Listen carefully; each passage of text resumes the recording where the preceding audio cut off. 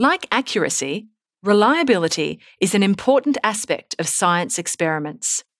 Reliability is the degree to which a measurement or test gives consistent results each time the experiment is performed. This means a reliable experiment produces similar results each time the experiment is repeated. We can also look at the reliability of experimental results. If the results are similar to each other, then they are reliable. To help us understand reliability, let's return to our archery competition. Robin Hood and his competitor, Fluky Luke, each have three arrows to fire at their targets. As usual, Robin Hood hits the bullseye with each of his three shots. Fluky Luke takes the stage and lands his first arrow in the bullseye. Is he as perfect as Robin Hood? Unfortunately not because both of his following shots miss the target.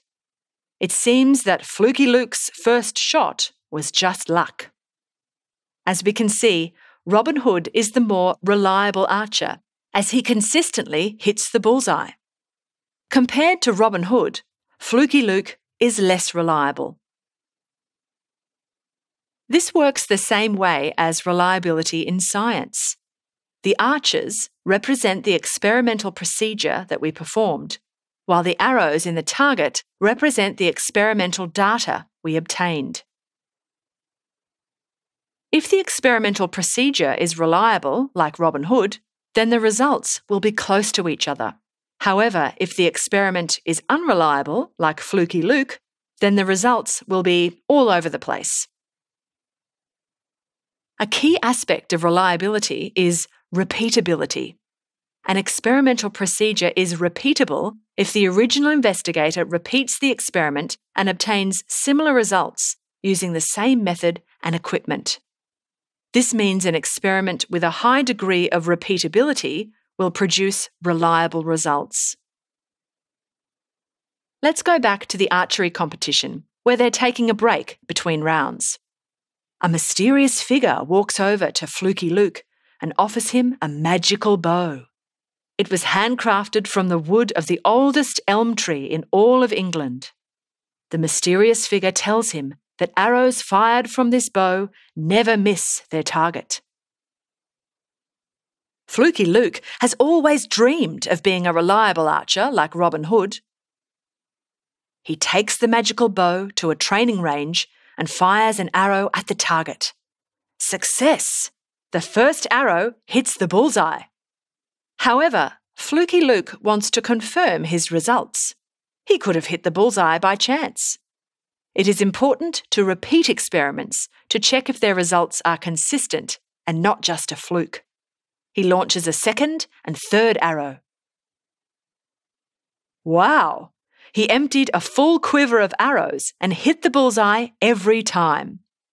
The magical bow represents a repeatable experimental procedure, as Fluky Luke achieved consistent results. That is, the magical bow produced similar results when used by the original investigator with the same method and equipment. Now, imagine you are performing an experiment to find out how long it takes for a cricket ball to fall three stories. On the first trial, you find that the ball takes 1.86 seconds to reach the ground. You repeat the experiment twice and find that it takes 1.82 seconds and then 1.85 seconds. This experiment has a high degree of repeatability because the results are consistent between all three repetitions. Therefore, the results of this experiment are reliable. Let's discuss the next aspect of reliability, which is precision. Precision is a measure of how close the experimental results are to each other. But beware, when discussing experimental results, use the term precision with caution. Even though precise and accurate are synonyms in normal vocabulary, they are completely different things in science. If you remember from our previous video, accuracy is a measure of how close the experimental results are to the true value. On the other hand, precision is a measure of how close the experimental results are to each other. Make sure you don't confuse these. Even if experimental results are accurate, they might not be precise. To help us understand this, let's return to Too Tall Trevor from our previous video on accuracy. Too Tall Trevor is an inaccurate archer because his arrows always land above the bullseye. However, his shots are very precise because all the arrows land close to each other. His sister, almost awesome Alice, faces a different dilemma. She is quite an accurate archer, as her arrows often land near the bullseye. Unfortunately, her arrows are spread out, so she is less precise than Too Tall Trevor. Neither sibling can compare to Robin Hood. His arrows always hit the bullseye and land close together. Therefore, Robin Hood is an accurate and precise archer. So, what does precision look like in science? Let's go back to the experiment where we try to find how long it takes for a cricket ball to fall three stories. As we can see, all the experimental results are close to each other. They only differ by 40 milliseconds. If we calculate the average time, we find that all our results are close to this average. This means our results are precise and our method is reliable. Then the teacher comes along to inform us that the theoretical value, or the true value, for the time it takes to fall three stories is 1.42 seconds. So, unfortunately, our results are not accurate because they are higher than the true value. As you can see, we have inaccurate results that are reliable and precise. Now, another aspect of reliability is reproducibility. An experimental procedure is reproducible if a new investigator repeats the experiment and obtains similar results using the same method and equipment. A reliable experiment is one with a high degree of reproducibility. Let's revisit Fluky Luke and his magical bow. What if Fluky Luke has practiced archery so much that he is now a reliable archer, like Robin Hood?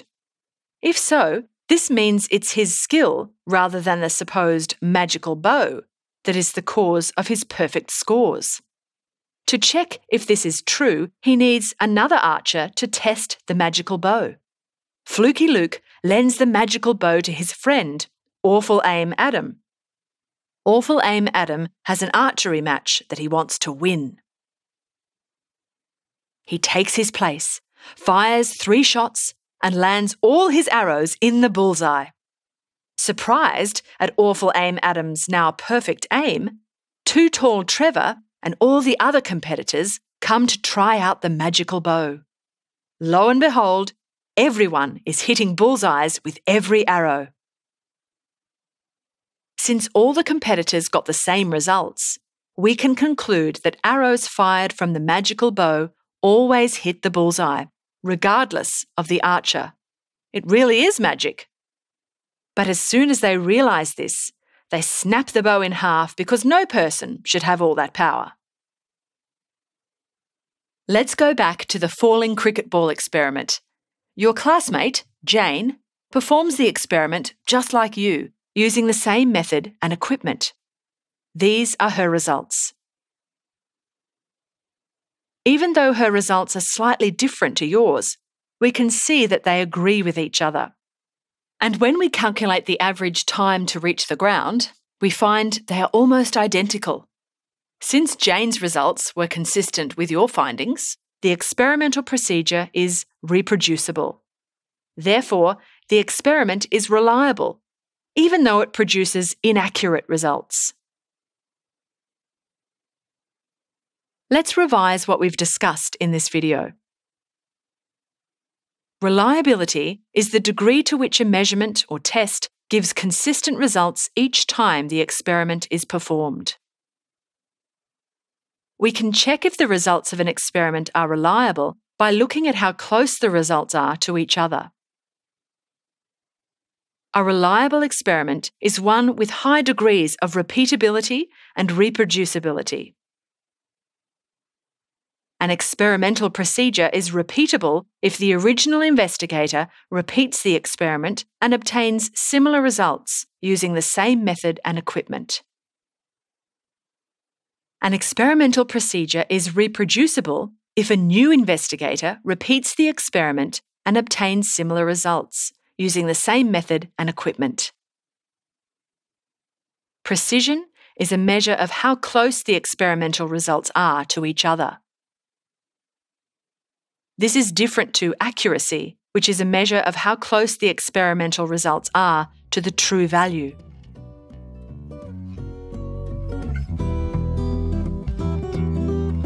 We hope you enjoyed this Schooling Online production.